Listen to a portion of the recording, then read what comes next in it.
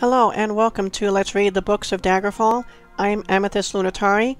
Today I'll be reading Wayrest, Jewel of the Bay, which I bought here at Dunyctor's Quality Market in the city of Daggerfall.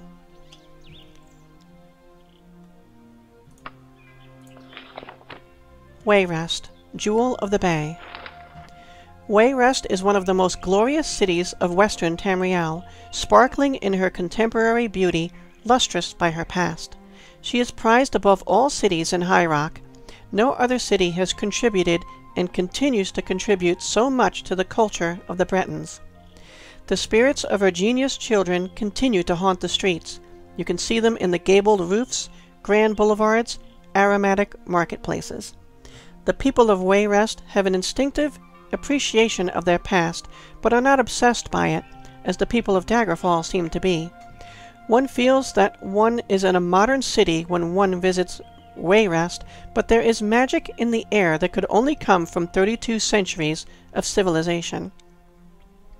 It is difficult for historians to declare a certain date for the foundation of Wayrest.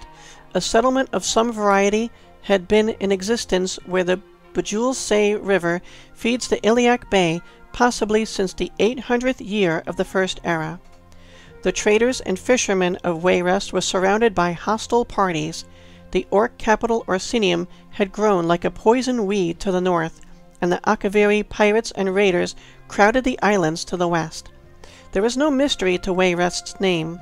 After the fighting, most travelers had to endure passing through the eastern end of the Iliac Bay. The little fishing village on the Bjoulsae was a welcome rest. Nowhere in the much vaunted censuses of the Skyrim occupation is Wayrest mentioned. In the annals of Daggerfall, King Joile's letter to Gaiden Shinji of the Order of Diagna contains the following reference The orcs have been much plaguing the Wayresters and impeding traffic to the heart of the land. The date given for the letter was First Era 948. Wayrest only truly bloomed after the razing of Orsinium in First Era 980.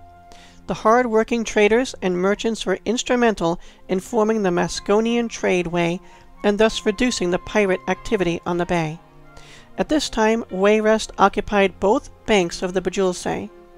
A successful mercantile family, the Gardners, built a walled palace on the high rock side of the river and, over time, allowed banks and other businesses within its walls.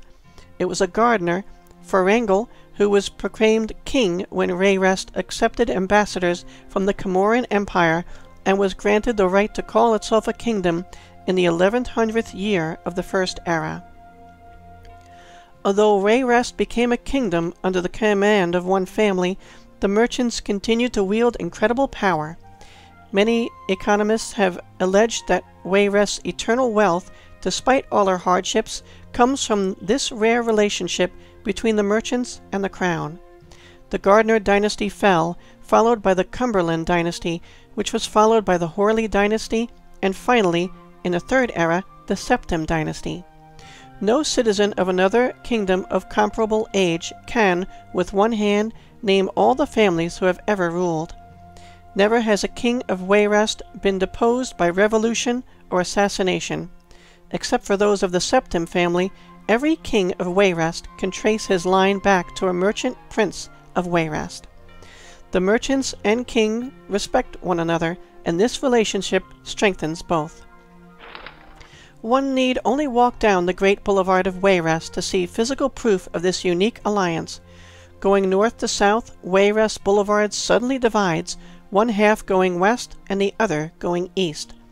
Both halves end in identical squares, one at Castle Wayrest, the original palace of Afrin Gardner, and the other at Cumberland Square, where the oldest and wealthiest marketplace in Wayrest. The message here is clear. The king and the merchants are joined and equal. Wayrest has survived blights, droughts, plagues, piracy, invasions, and war with good humor and practicality. In First Era, 2702, the entire population of the city was forced to move into the walled estate of the Gardners as protection against the pirates, Akaviri raiders, and Thracian plague. a less resourceful community would have withered, but the Wayresters have survived to enrich Tamriel generation after generation. Thank you for listening to Let's Read the Books of Daggerfall. Wayrest, Jewel of the Bay.